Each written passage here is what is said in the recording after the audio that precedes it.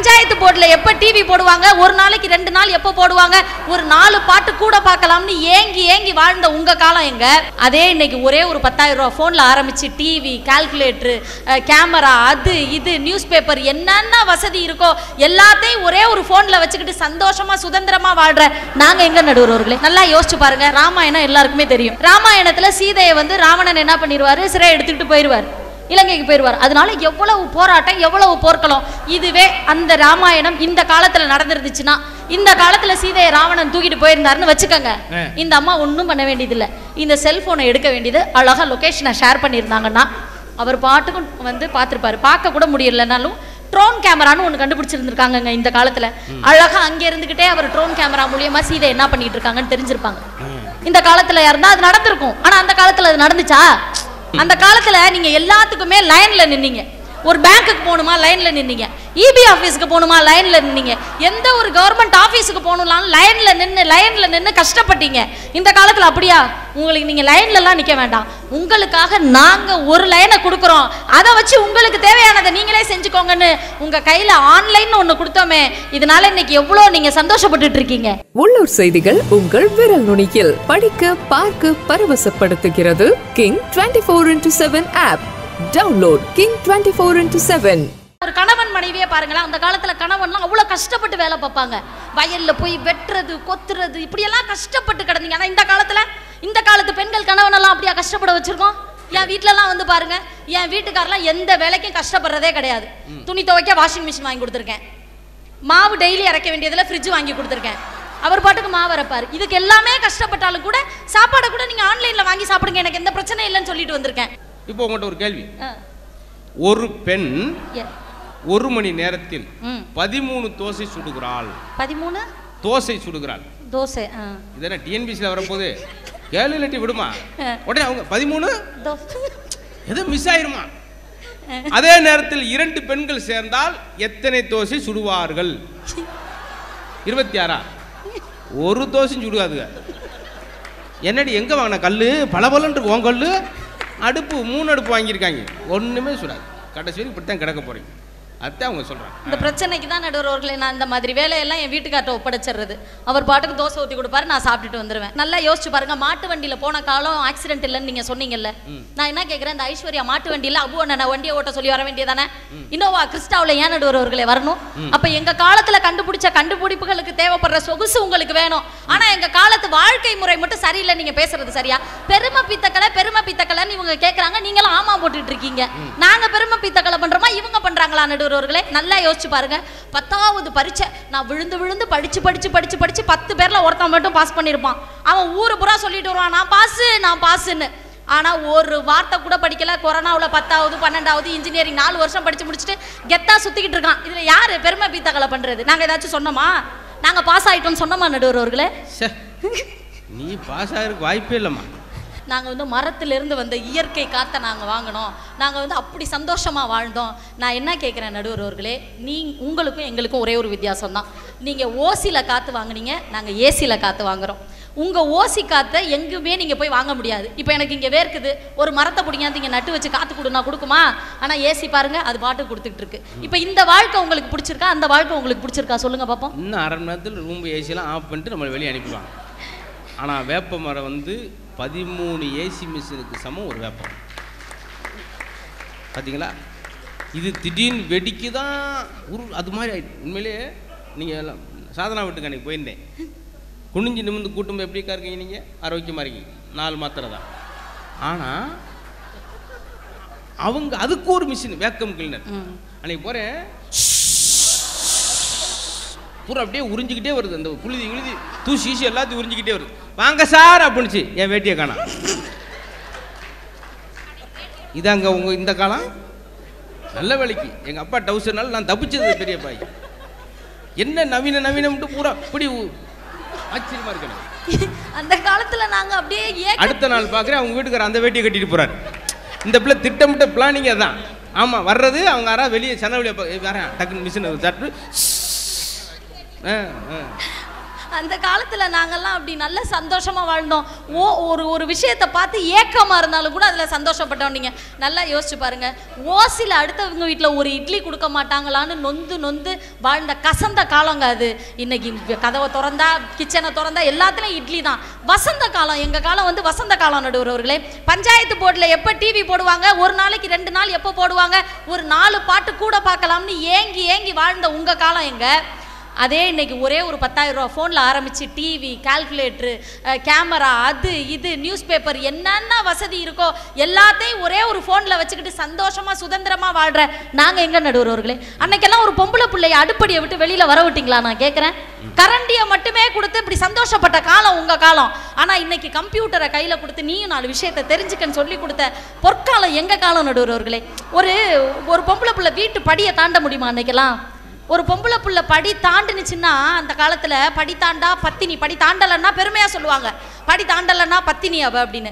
இந்த காலத்துல ஒரு பொம்பளை புள்ள படி தாண்டி போய் சம்பாதிக்கலைன்னா அந்த குடும்பமே பட்டினிங்கிற காலத்தை இன்னைக்கு உருவாக்கி வச்சிருக்கோம்னா அந்த அளவுக்கு சுதந்திரமா நாங்க இருக்கோம். ஒரு ஒரு நடக்கிறதுக்கே அன்னைக்கு பெண் பெண்களுக்கு சுதந்திரம் இல்லை. இன்னைக்கு நாங்க பைக் ஓட்டுறோம் கார் ஓட்டுறோம். இப்போ நான்லாம் நல்லா கார் ஓட்டுவேன். ம் நாங்கள் வாழ்க்கையை ஓட்டுறதே பெரும்பாடாக இருக்கம்மா நடுவர் அவர்களே இப்போ அன்னைக்கு அப்படிதான் ஒரு முந்தா நாள் என் வீட்டுக்காரரை ஓட்டிட்டு போயிட்டு இருந்தேன் வீட்டுக்காரர் ஓட்டிட்டு போயிட்டுண்டியா அவர் என்ன என்ன செம்மறியாடா இல்லை வெள்ளாடாமா? நடுவர் அவர்களே வீட்டு காரை ஓட்டிட்டு போயிட்டு இருந்தேன் ஓ அழுத்தம். வீட்டு காரை ஓட்டிட்டு போயிட்டு வீட்டு காரை ஓட்டிட்டு போயிட்டு இருந்தேன் நான் பயங்கரமா ஓட்டுவேன் நடுவர்களே லைசென்ஸ் எல்லாம் வாங்கிட்டேன். என் வீட்டுக்காரு பக்கத்துல உட்காந்துருக்காரு நான் டிரைவர் சீட்ல உட்காந்து ஓட்டணும். லைசென்ஸ் எட்டு போட்டு வாங்கினியா துட்டு போட்டு வாங்கினியா? டிரைவர் சீட்ல உட்காந்து நான் ஓட்டிட்டு இருக்கேன் என் வீட்டுக்கார் பக்கத்து சீட்ல உட்காந்துருக்காரு நடுவர்களே நான் பயங்கர ஸ்பீடா ஒரு பைபாஸ்ல ஹெவி டிராஃபிக் கிட்டத்தட்ட இருபது கிலோமீட்டர் ஸ்பீட்ல போயிட்டு இருக்கேன் அப்பா பிரிச்சிருக்குமே அந்த ஏரியாவே இருபது கிலோமீட்டர் ஸ்பீடில் கண்ணுமுக்கு புழுதியா பறந்துருக்குமாம்மா இதுக்கு நீ நடந்தே போயிருக்காம்மா இதில் வந்து காரை ஓட்டு போதும் பறக்குதான் பயங்கர ஸ்பீடா நான் போயிட்டு இருந்தேன். சைக்கிளில் வரவனே முப்பது கிலோமீட்டர் ஸ்பீடில் போய்கிட்டு இருக்கேன். இருபது கிலோமீட்டர் பறந்துச்சான் நடுவர்களே சொல்லும்போது சொல்ல விடுங்க. என்னை டிஸ்டர்ப் பண்ணாம. அவ்வளோ ஸ்பீடா போயிட்டு இருக்கு காரு. அவ்வளோ ஸ்பீடா போயிட்டு இருக்க பின்னாடி என்னை ஃபாலோ பண்றத பக்கத்துல இருந்த கண்ணாடியில நான் கண்டுபிடிச்சிட்டேன். அவன் பின்னாடி சைக்கிள்ல வேகமா வந்துகிட்டு இருக்கான் நடுவர்களே ஆனா என் கார் அதை முந்தி போயிட்டு இருக்கு ஓ சைக்கிள் முந்திட்டா? ஆச்சரியமா இருக்குமா? வேகமா போயிட்டு இருக்கேன் நடுவர்களே நான் டக்குன்னு திரும்பணும். என் வீட்டுக்காரரு டக்குன்னு கார்ல ஏதோ இண்டிகேட்டர்னு இருக்குமாம்ல. அம்மா உண்மையிலேயே நீ காரு வந்து இந்த கார் வாங்கினியா? இல்லை சித்திரத்திரலாம் பொம்மை கார் வாங்கினியா? ஏன்னா நீ சொல்கிற பூரா எனக்கு டவு இருபது கிலோமீட்டர் ஸ்பீடில் எந்த காருமே போகாது. ஏன்னா நின்றுருக்க காரே பத்து கிலோமீட்டர் ஸ்பீடில் போகுதான். சும்மா வீல் சுற்றிக்கிட்டே இருக்கும். ஆச்சரியமா இருக்கும்? இண்டிகேட்டர்னு இருக்குமாம்ல. அத போடுறி அத போடுறீன்னா நான் கேட்டேன் எதுக்கு போடணும் இப்ப? அந்த காலத்து ஆளுங்கிறது நல்லாவே நிரூபிச்சுட்டே இருக்கீங்க. இண்டிகேட்டர் எதுக்கு போட சொல்லிட்டு இருக்கீங்க? நான் கார் ஓட்டிட்டு இருக்கேன்னு கேக்குறேன்.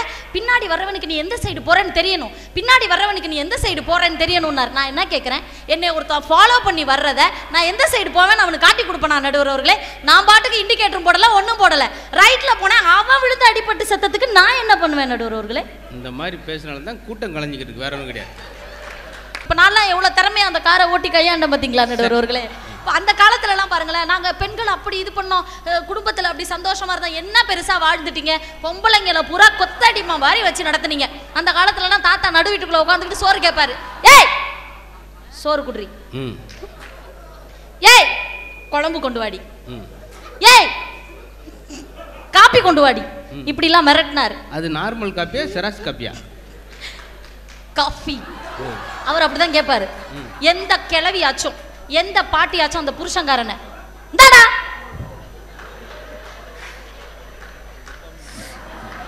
முந்நூறுரூவா சேர்த்து வாங்கிக்கோங்க. எப்போ என்கிட்ட சொல்லுவீங்க நம்ம சேர்ந்தா விழுவோம். இதான் முறை. பட்டிமன்றத்தில் அப்படித்தான் நம்ம ஒரு. பதிமூணு வருஷம் விழுந்துக்கிட்டு இருக்கோம். இன்னைக்கு இவர் மட்டும் விழுந்து கொஞ்சம் அவரே அவர் அவமானப்படுத்திக்கிட்டாரு. சோறு. இந்தாடா குழம்பு. எந்த பாட்டியாச்சும் சொல்ல முடியுமா? முடியாது நடுவர்களே. ஏன்னா அந்த சுதந்திரம் எந்த பெண்களுக்கும் கொடுக்கப்படல. ஆனா இன்னைக்கு நான் சொல்லிட்டு வர்றேன். டேய் இந்த வீட்டை ஒழுங்கா கூட்டி வை. டேய் என் ட்ரெஸ் எல்லாம் ஒழுங்கா மடிச்சு வை. என் வீட்டுக்காரர்கிட்ட சொல்றேன்னா அந்த சுதந்திரம் இருக்கு. கணவனும் மனைவியும் ஒரு நட்போட பழகுறோம் நண்பர்களா இருக்கோம் நடுவர்களே அந்த காலத்துல இதெல்லாம் முடிஞ்சுச்சா? உண்மையிலேயே நீங்கள் சொன்ன மாதிரி அப்போ இருந்து வரைக்கும் தானே சார் நடக்குது. ஒரே சம்பவம் தான். ஏய் கட்டின சேலையோடி வாடி.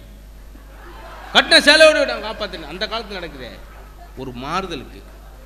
என்னைக்கா நீங்கள் கட்டணும் லுங்கியோட வடை. போட்டிருக்க டவுசரோட வாடான்னு மாறி இருக்குமா சார்? கிடையாது. உனக்கா இதயத்தவே கொடுப்பேன். எனக்கு தெரிஞ்சு சின்ன பிள்ளையிலேருந்து படங்களில் கூட இதுதான் உனக்கா இதயத்தை தான் கொடுப்பேன். ஒரு மாறி உனக்கா என் கல்லீரவே கொடுப்பேன். உனக்கா என் கணையத்தவே கொடுப்பேன். என்ன சொல்கிறோமா அதாவது அவங்க என்ன சொல்கிறாங்க சேஞ்சஸ் வேணும். ஒரே மாதிரி இருக்கக்கூடாது சார். அப்படின்னு தான் நாங்கள் புதுசாக உருவாக்குறோம். மாற்றி யோசிக்கிறோம். அந்த மாதிரி அடிமையாவே இருந்துகிட்டு இருந்த காலத்தை பெருமை பேசாதீங்கன்னு சொல்றேன். இப்போ இவங்கெல்லாம் சொன்னாங்க. அந்த காலத்துல எல்லாம் பாத்தீங்கன்னா உணவுக்கு அவ்வளவு முக்கியத்துவம் கொடுப்பாங்க. உண்மையிலே எங்க பாட்டியும் சரி எங்க அம்மாவுமே சரி எங்கேயுமே போக மாட்டாங்க நடுவர்களே அம்மா வீட்டுக்கு போனா கூட அடிச்சு புடிச்சுட்டு ஓடி வருவாங்க. எதுக்கு? வீட்டுல புருஷன் சாப்பிடாம கிடப்பார். அவருக்கு வந்து சமைச்சு கொடுக்கணும். ஏன் அவர் சமைச்சுக்க மாட்டாரா? ஆனா இந்த காலத்துல அப்படியா? நீங்க முப்பது நாள் எனக்கு பட்டிமன்றம் கொடுங்க. முப்பது நாள் நீங்க வரிசையா பட்டிமன்றம் கொடுத்தீங்கனாலும் நான்லாம் என் வீட்டுக்காரருக்கு சமைச்சு கொடுத்துட்டு தான் வருவேன். அப்படிதான் வைராகியம் எடுத்திருந்தேன். ஒருவேளை சமைக்க முடியலையா? ஆனாலும் நான் சமைச்ச சாப்பாடு தான் நடுவர்களே அவர் சாப்பிடுவாரு. இப்படி ஒன்னாம் தேதி ஆனாலே அவருக்கு தேவைப்பட்ட அஞ்சு மரக்க அரிசியை போட்டு சோறை வடிச்சு தண்ணி ஊற்றி வச்சுட்டு வந்துருவேன். முப்பது நாளைக்குமே அவர் பாட்டுக்கு சாப்பிட்டுட்டு இருப்பாரு. எந்த ஹாஸ்பிட்டலில் இருக்கிறப்ப அதுவுமே முடியலையா. அதுக்காக வந்து அந்த காலத்துல மாதிரி நான் எந்த வேலைக்குமே போக மாட்டேன். நான் பட்டிமன்றம் பேச போக மாட்டேன். நான் சம்பாதிக்க மாட்டேன்னு வீட்டுக்குள்ள முடங்கி கிடக்கிற பெண்ணு நான் இல்ல நான் கிடையாது நடுவர்களே. அவர் எங்கேயும் சாப்பாடை தேடி போக வேண்டாம். நீங்க பாட்டுக்கிறீங்க தமிழ்நாட்டுல எந்த மூலையில இருந்தனாலும் உங்களுக்கு சாப்பாடு வீடு தேடி வரும்னு இன்னைக்கு தன்னால ஒரு பையன் கொண்டு போய் சாப்பாடு கொடுத்துட்டு இருக்கான். இந்த மாதிரியான எளிமை எல்லாம் கிடைச்சதுக்கு பிறகும் நீங்க வந்து வாழ்க்கை நல்லா இல்ல. அந்த காலத்துல என்ன நடந்துச்சு? நல்லா யோசிச்சு பாருங்க. ராமாயணம் எல்லாருக்குமே தெரியும். ராமாயணத்துல சீதையை வந்து ராவணன் என்ன பண்ணிடுவாரு சிறை எடுத்துக்கிட்டு போயிடுவார் இலங்கைக்கு போயிடுவார் அதனால எவ்வளவு போராட்டம் எவ்வளவு போர்க்களம்? இதுவே அந்த ராமாயணம் இந்த காலத்துல நடந்துருந்துச்சுன்னா இந்த காலத்துல சீதையை ராவணன் தூக்கிட்டு போயிருந்தாருன்னு வச்சுக்கோங்க. இந்த அம்மா ஒன்றும் பண்ண வேண்டியதில்லை. இந்த செல்போனை எடுக்க வேண்டியது அழகா லொகேஷனை ஷேர் பண்ணியிருந்தாங்கன்னா அவர் பாட்டுக்கும் வந்து பார்த்துருப்பாரு. பார்க்க கூட முடியலனாலும் ட்ரோன் கேமரான்னு ஒன்று கண்டுபிடிச்சிருந்துருக்காங்கங்க இந்த காலத்துல. அழகா அங்கே இருந்துகிட்டே அவர் ட்ரோன் கேமரா மூலியமா சீதை என்ன பண்ணிட்டு இருக்காங்கன்னு தெரிஞ்சிருப்பாங்க. இந்த காலத்துல இருந்தா அது நடந்திருக்கும். ஆனா அந்த காலத்துல அது நடந்துச்சா? ச்சே, ஒரே கேள்வினால எங்களை குழப்பி விட்டு இனிமேல் பட்டிமன்றம்னாலே எங்களை பதற விடுற மாதிரிலாமா சொல்லியிருக்கேன். திரு திருவள்ளுவர் எழுதினார் ஆயிரத்தி முன்னூத்தி முப்பது குறள் எழுதினார். அது எத்தனை வருஷத்துக்கு பிறகு எவ்வளவோ பேருக்கு கிடைச்சிருக்கு இன்னைக்கு? ஆனா இதுவே இந்த காலமா இருந்துருச்சுன்னு வச்சுக்கோங்களேன். அவ்வளோ ஓலைச்சுவடிகளை வேஸ்ட் பண்ண வேண்டியதில்லை நடுவர் அவர்களே. அழகா அவர் பாட்டுக்கு கம்ப்யூட்டர்ல டைப் பண்ணி வச்சிருந்திருக்கலாம். இன்ஸ்டாகிராம்ல ஃபேஸ்புக்ல அப்லோட் பண்ணியிருந்தாருன்னா இன்னைக்கு எத்தனை ஃபாலோவர்ஸ் இருந்திருப்பாங்க அவருக்கு? ஃபாலோவர்ஸ் இருந்திருப்பாங்களா? ஏமா அவருக்காமா அவர் என்ன யூடியூப்பா வச்சு நடத்திக்கிட்டு இருக்காரு? இந்த மாதிரி ஒரு மாபெரும் மகானை கூட நம்மலாம் இன்னைக்கு தெரிஞ்சுக்க முடியலன்னா காரணம் என்ன? இன்ஸ்டாகிராம் இல்ல ஃபேஸ்புக் இல்ல. அங்க பாருங்க இந்த பாப்பா கைத்தட்டி என்னை காப்பாத்திருக்கு. பாப்பா கை தட்டலமா கையில் இருக்க தூசியை தட்டுச்சு. உன்னுடைய வெறித்தனமான ஆடியன்ஸை தேடுறதுக்கு இப்படியெல்லாமா பாப்பா? இப்போ நான் நடந்து போயிட்டு இருக்கேன் நடுவர்களே. இப்போ நாமக்கல் பஸ் ஸ்டாண்ட்ல நான் நடந்து உண்மையிலே இப்போ நடந்தான் போக போறீங்க. அப்படித்தான் நீங்கள் பஸ்ஸு கூட காசு இல்லாமல் தான் போக போறீங்க. நான் நடந்து போயிட்டு இருக்கேன்னு வச்சுக்கோங்களேன். இல்ல உண்மையிலே ஒரு ஒரு சம்பவம் நடக்குது. இப்போ நான் நடந்து போயிட்டு இருக்கேன் என்னோட ஹேண்ட்பேக்கை அபு அண்ணன் திருடிட்டாரு.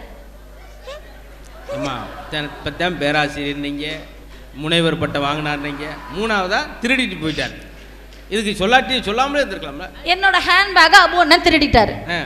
அருண் வந்து பின்னாடி இருந்து வேடிக்கை பார்த்துட்டு இருக்காரு. அம்மா உன் கேன்பேக்கை யார் திருடினாலும் அவன் மிகுந்த வருத்தப்படுவான் ஏன் நடுவர் அதில் இருக்கிறது பிஞ்சு ஒன்று ஒரு லிப்ஸ்டிக் ஒன்று ரெண்டு கேர் பென் நெலிஞ்சு போன கேர் பென் டிஷ்யூ பேப்பர் அது இந்த டிஷ்யூ பேப்பர் இன்னொருத்தன் போட்ட டிஷ்யூ பேப்பர் அதை எடுத்து இந்த பிள்ளை நல்லா தண்ணியை வச்சு கழுவி உள்ளே வச்சிரு காய வச்சு.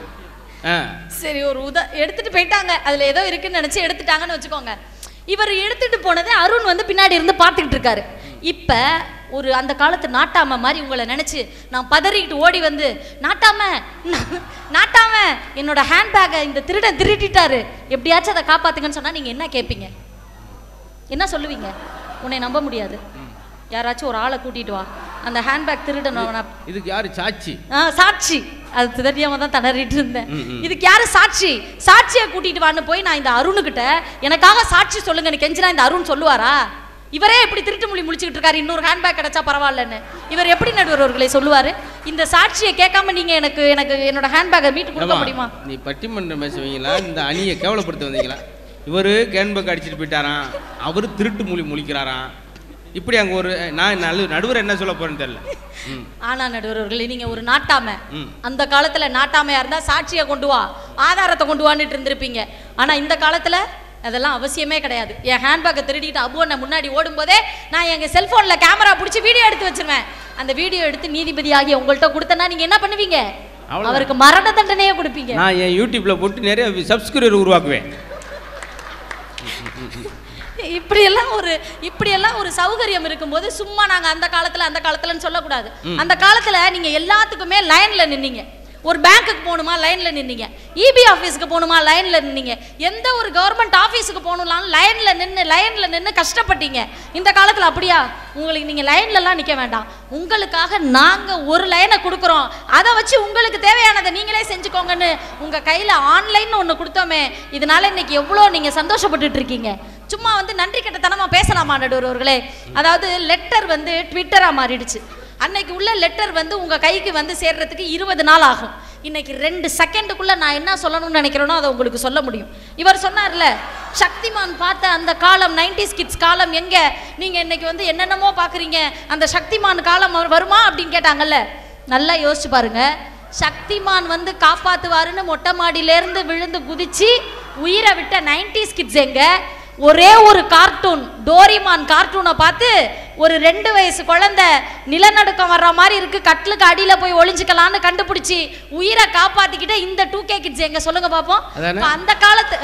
சக்திமான் காலம் முடிஞ்சு இப்போ மதுரைமுத்தோட சல்மான் கான் வரைக்கும் வந்துட்டீங்க இந்த மூணு பேர் தான் தட்டியிருக்கீங்கன்னா அந்த காமெடி நான் அப்படியே மறைச்சி வச்சுருந்துருப்பேன் அந்த காலத்துலலாம் பிரபலமாகணும் பிரபலமாகணும்னு யாரும் நினச்சதில்ல. ஒரு கடைக்கோடியில் இருக்கிற ஒரு கிராமத்தான் கூட இன்னைக்கு பிரபலமாகறான்னா இன்ஸ்டாகிராம் ஃபேஸ்புக்குன்ற எந்த பாகுபாடும் இல்லாத மனுஷன் கூட இன்னைக்கு நல்லா சந்தோஷமாக தன்னை வெளிப்படுத்திக்கிறதுக்கு வாய்ப்பாக இருக்குன்னா அது இந்த காலத்தில் மட்டும்தான். இஎம்ஐ பற்றி இவங்க குறை சொன்னாங்கல்ல. நல்லா யோசிச்சு பாருங்களேன் அந்த காலத்துலலாம் வருஷம் பூரா ஆயுசு பூரா உழைச்சி உழைச்சி ஒரு ஓட்ட சைக்கிளோடையே இறந்த எத்தனையோ பேர் இருக்காங்க. இன்னைக்கு பத்தாயிரம் ரூபா சம்பாதிச்சாலும் கூட நாம் வாழ்ந்துக்கிட்டே அனுபவிச்சுக்கிட்டே செத்து போயிடலான்னு சொல்லிட்டு ஏசியை வாங்கி மாட்டுறோம் ஃப்ரிட்ஜு வாங்கி வைக்கிறோம் இஎம்ஐயில் ஏதோ நம்மளால காசு கொடுத்து வாங்க முடியலைனாலும் அதை அனுபவிச்சுக்கிட்டே போகிறோன்ற நிம்மதியாச்சும் இருக்குல்ல. விடைபெறுகிறேன். நன்றி. உள்ளூர் செய்திகள் உங்கள் விரல் நுனியில். படிக்க பார்க்க பரவசப்படுத்துகிறது. King twenty four into seven app download King twenty four into seven